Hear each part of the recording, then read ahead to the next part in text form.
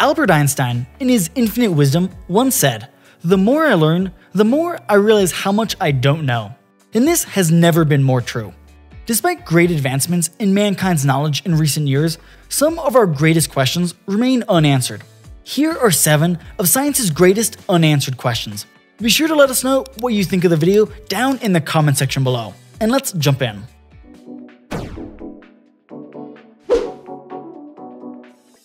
First up, why is there stuff?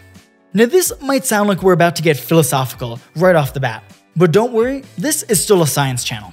Scientists have long puzzled over why there's anything in the universe. The stuff you're made of is matter, which has a counterpart called antimatter, differing only in its electrical charge. When they meet, they annihilate each other in a flash of energy, and both disappear. Our best theory suggests that the Big Bang created equal amounts of the two, meaning all matter should have since encountered its antimatter counterpart, deleting them both, and leaving the universe awash with only energy. It seems that in the moments after the Big Bang, that for every 10 billion antimatter particles, there were 10 billion and 1 matter particles. The matter and antimatter annihilated the 10 billion and left us with the 1. Clearly nature has a subtle bias for matter, otherwise you wouldn't exist. Researchers are sifting through data from experiments like the Large Hadron Collider, trying to understand why that is. Number 2. Why does time seem to flow only in one direction? Since Einstein, physicists have thought of space and time as forming a four dimensional structure known as spacetime.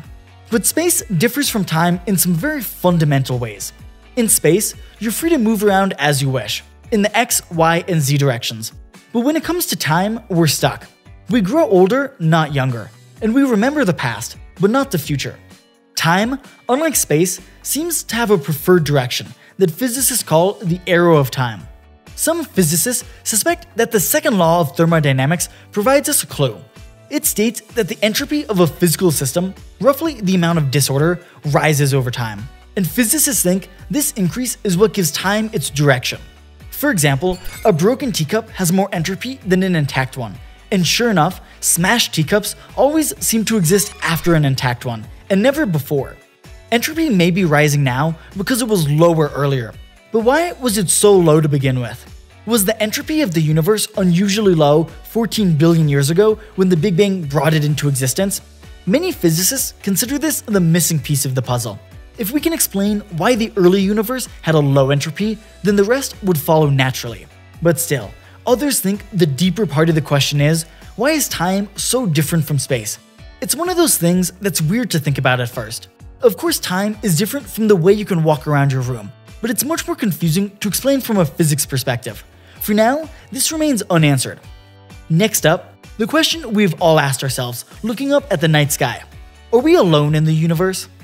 For decades, astronomers have been scouring the universe for places where watery worlds might have given rise to life.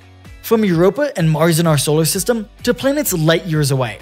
Radio telescopes have been eavesdropping on the heavens, but have fallen on deaf ears, and even today, astronomers are able to scan the atmospheres of distant worlds, looking for the telltale gas signatures that could hint at the presence of life.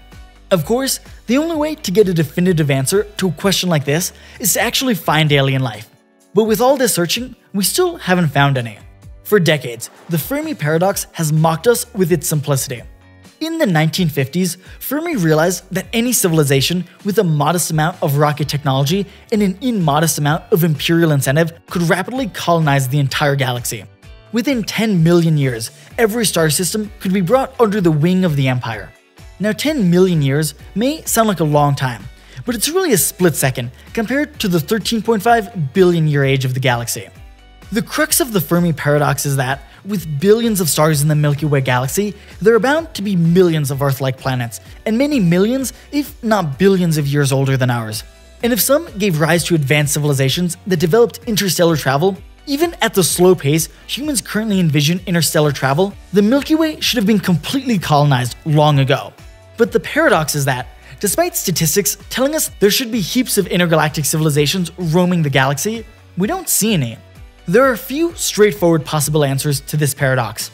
The first is that intelligent life is incredibly rare, and we're one of, if not the only ones. The second, that the lifetime of such civilizations is short, and the rise of intelligent life naturally leads to its own destruction. In today's world, it's easy to see how this could be the case. Thousands of nuclear powered rockets are pointed not outward towards the stars, but inward towards ourselves. Superbugs have risen in prominence, and the connectedness of mankind has allowed diseases to spread far and fast.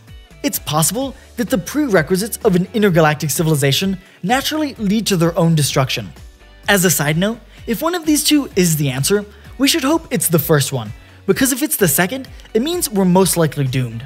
And the third and final simple solution is that they exist, but for some reason we don't see them. 200 years ago, if a friendly alien sent us a radio message, we would have no way of detecting it. Today, we scour the stars, looking for electromagnetic waves like radio waves or gamma rays that could come from far off civilizations. But perhaps alien technology uses principles that we don't understand yet, and therefore we haven't figured out how to detect. Or maybe there's some prime directive type rule in the intergalactic government preventing aliens from making contact with us.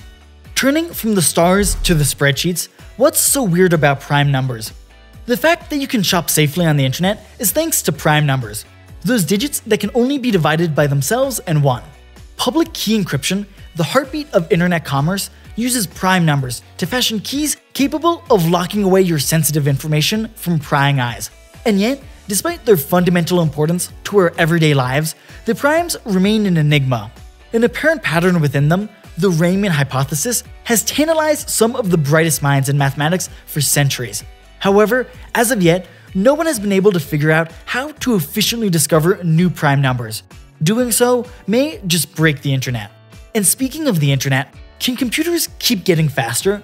Our tablets and smartphones are mini computers that contain more computing power than what the astronauts took to the moon in 1969. Moore's Law tells us that the number of transistors on a microchip should double about every two years. But if we want to keep on increasing the amount of computing power we carry around with us, how are we going to do that? And in recent years, computer engineers have struggled to live up to Moore's expectations, as modern transistors are getting to be so small that quantum physics has started coming into play. If transistors are made any smaller, electrons could start quantum tunneling through the incredibly thin switches meant to hold them back. As engineers have struggled to put transistors any closer together, they're now looking into new materials, software improvements, and entirely new systems like quantum computing to pick up the slack. But the question remains how long can Moore's Law be maintained? Number 6. What is consciousness? We're still not really sure. We know that it has to do with different brain regions networked together, rather than any single part of the brain.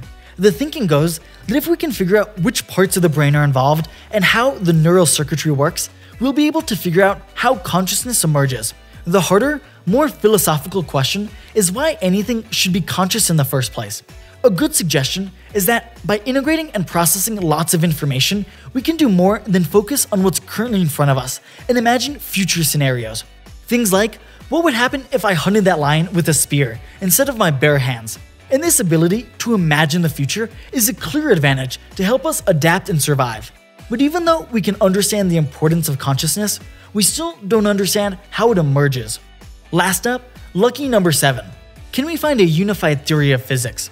We now have two overarching theories to explain just about every physical phenomenon Einstein's theory of general relativity and quantum mechanics.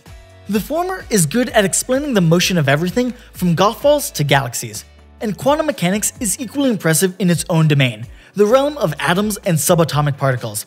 The trouble is, the two theories describe our world in very different terms. In quantum mechanics, events unfold against a fixed backdrop of spacetime, while in general relativity, spacetime itself is flexible.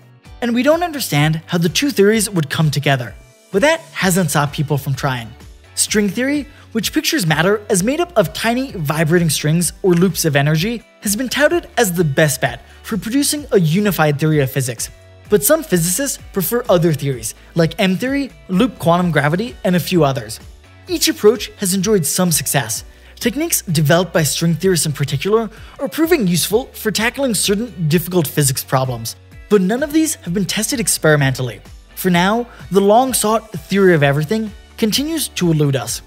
If you're tired of all the things we don't know, try learning about what we do know with this video on the biggest scientific discoveries from the last year.